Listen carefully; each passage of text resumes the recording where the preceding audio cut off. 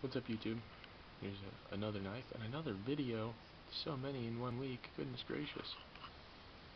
I know. It's, it's strange. Um, this is probably going to be the closest thing that I would ever make to like a quote-unquote normal looking sort of knife. Um, pretty pretty simple. Not a lot of uh, carving. Well, basically there's no jimping um, on this frame, which is weird for me. It felt awkward to not do it. I resisted as my customer requested. Um, this is a backspacer constructed knife, and the backspacer is actually M390, and it is hardened, and that is, in fact, a glass breaker tip. And it works pretty well. Let me tell you, it breaks things, for sure. Um, also, this has a M390 blade, uh, with sort of a semi-mirror finished flats, and uh, what is that called? A satin finished blade. Oh boy. Um, I'm actually kind of liking this uh, this blade profile. I think that's a, a, very nice drop point. It does present a ton of belly. Um, and the way I grind knives is that belly is always the uh, the thinnest, sharpest part of the knife. So the tip is actually a little thick and reinforced, so you can stab shit and not uh, not be worried about snapping it off but then the uh, the belly section in here is, uh, is the thinnest and, and definitely the sharpest part of this knife. Uh, so you could uh, potentially, you know, skin an animal with this, have no problem, if you so chose. Um, titanium frame, lock. Uh, they're anodized and bead blasted. And these are micarta onlays. Not something I normally do, hey, they give the people what they want. No titanium clip. With this unlubricated flipper.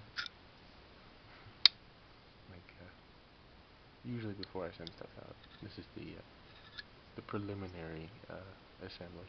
Usually I take them apart and clean everything again and lubricated everything up and so by the time that they are uh, ready to go out they fly. Um, I've gone back on this one to a, uh, a thumb stud stop for the blade. A lot of guys do it. It is actually fairly easy to uh, to lay out that way. You don't have to worry about the uh, an internal stopping getting in the way of the uh, flipper trigger. But uh, it's a pretty cool knife. I'm I'm actually uh, I'm actually kind of digging that. Trying to fit size and I think it's a three maybe a three and a quarter inch blade. I don't know. I I always like say it in a video and then I have to go in and put it in the description what it actually is because I'm usually wrong. Because um, yeah, I don't actually measure it.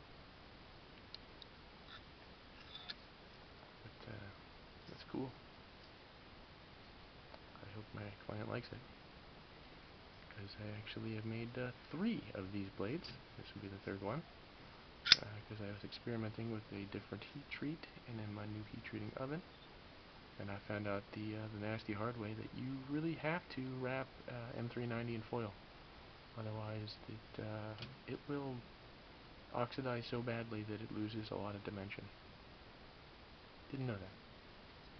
Because previously I've been heat treating stuff in open flame. Some people would be like what? You can do that? Yes you can do that. In fact I actually like it because the flame burns all the oxygen out of the forge, so uh, steel doesn't oxidize, which is cool. But uh, yeah, so foil wrap, very nice, and that is uh, a cool knife. See you later, YouTube.